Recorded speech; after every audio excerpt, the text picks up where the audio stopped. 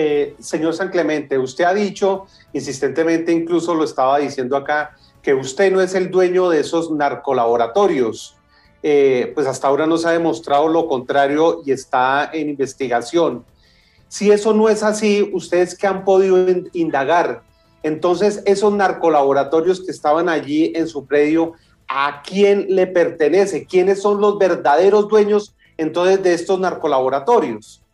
Jairo, pues es una labor, como entenderá, eh, de la Fiscalía y de las autoridades. Yo no soy quien, ni mucho menos, yo estoy atento, por supuesto, que la Administración de Justicia y los organismos de inteligencia cuanto antes esclarezcan esta situación en aras de limpiar mi buen nombre, el de mi familia, y yo no soy quien para estar eh, husmeando quiénes son, eh, quiénes son los dueños de, de ese laboratorio que tanto daño nos han hecho en lo personal, en lo patrimonial y en lo reputacional. Pero, ¿ha podido averiguar algo o, el doctor Cancino han podido tener alguna información?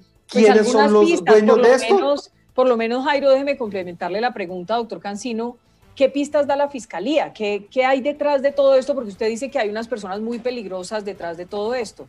¿Es porque ya hay pistas claras? La información que hemos podido corroborar y mirar desde la defensa es que era una costumbre de algunas personas de la zona entre Cundinamarca y Boyacá que tienen vínculos al parecer también con, con, estos negocios de narcotráfico que usaban unas fincas con conocimiento de los propietarios para hacer microcultivos y otras fincas sin conocimiento de los propietarios para hacer también esos mini laboratorios. Porque también vi que a la opinión pública hay que aclararle que no es que fuera una cosa evidente o que fuera eh, visible eh, desde todo punto de vista este laboratorio, no. La extensión de la finca del doctor San Clemente es importante, tiene una zona boscosa y el laboratorio no estaba a la vista del público.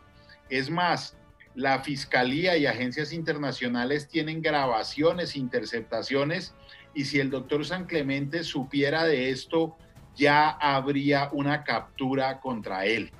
Ese también es otra de las cosas más importantes. No puede aparecer ninguna evidencia nueva, porque sencillamente el doctor San Clemente no tenía la más mínima idea de la existencia de este narcocultivo.